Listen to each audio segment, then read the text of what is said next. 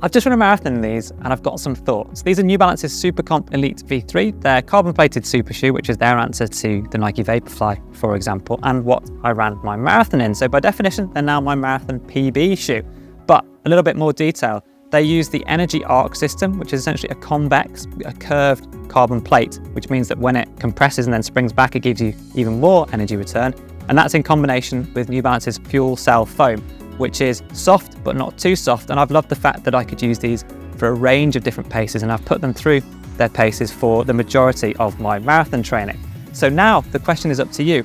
Drop me a hands up emoji in the comments if you'd like to see me put these through their paces in an all out 1K time trial in the next installment of that series where we put all the best super shoes head to head.